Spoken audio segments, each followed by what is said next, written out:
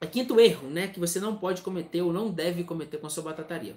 Não documentar as suas transações financeiras, ou seja, não documentar as, as transações financeiras da batataria.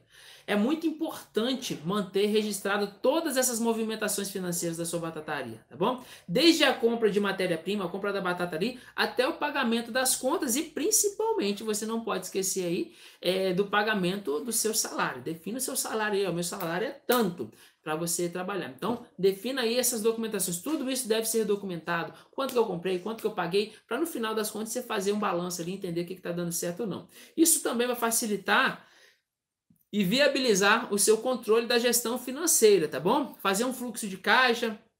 Isso pode ser também utilizado, talvez vocês não saibam disso, mas isso pode ser utilizado também em caso de uma fiscalização ou até mesmo uma auditoria da Receita Federal, tá? Que eles costumam fazer. E aí tem gente que fala, mas eu vou montar um negócio tão pequenininho, não vou, tô começando agora, será que isso vai acontecer comigo? Gente, entenda uma coisa, sua batataria vai crescer. Se você trabalhar, se você pegar essas aulas que a gente está fazendo aqui, cara, você vai fazer esse negócio crescer, esse trem vai andar. E se, se ele começa a andar, é dinheiro que entra mais, Receita Federal, ó, cresce um zoião e vai lá verificar. E aí, para que você não tenha problema com nenhuma auditoria, na prestação de conta ali, do seu imposto de renda e tudo mais, é bom que você mantenha aí registrado toda a movimentação da sua financeira, da sua a movimentação financeira da sua batataria para não ter erro, erro, tá bom?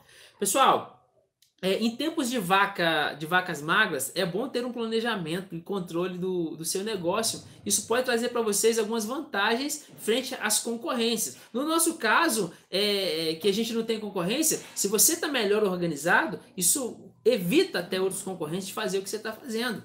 Tá bom? É tipo franquia. Por que, que franquia tem muita liberdade? Porque ninguém fica imitando franquia.